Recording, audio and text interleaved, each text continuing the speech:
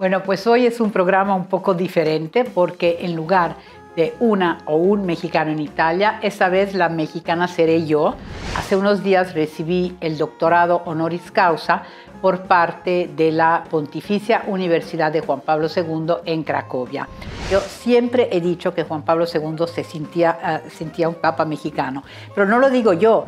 Lo que me impresionó es reconfirmar eso al ver que en el santuario, en este santuario de, de Juan Pablo II, en las afueras de Cracovia, hay tres imágenes enormes de la Virgen de Guadalupe.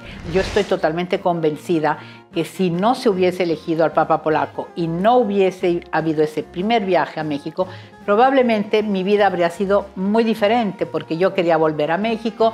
¿Quién sabe cómo habría sido mi vida?